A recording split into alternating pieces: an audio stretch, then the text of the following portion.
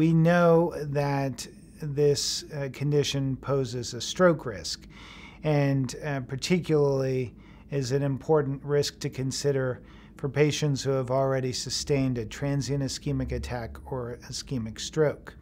What this article does is review the epidemiology of the condition, what factors go into treatment decisions, such as when to do endarterectomy and when to do stenting, as well as managing common comorbidities such as hyperlipidemia and hypertension.